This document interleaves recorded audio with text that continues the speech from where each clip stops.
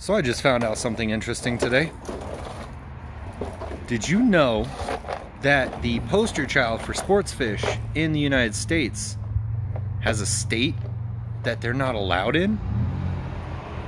I mean, I didn't know that. Did you? Largemouth bass are invasive in Maine. Mind blown.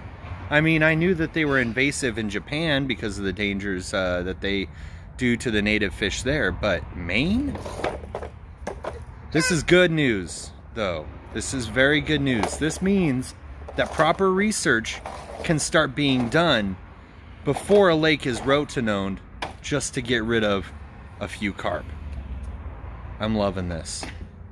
Proper research. That's what we need. We need real science to go behind every single piece of paper that is put out for and against any species, not just carp, any species, pike, um, walleye.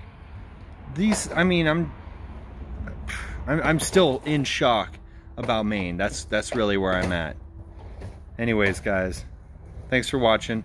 Don't forget to hit subscribe.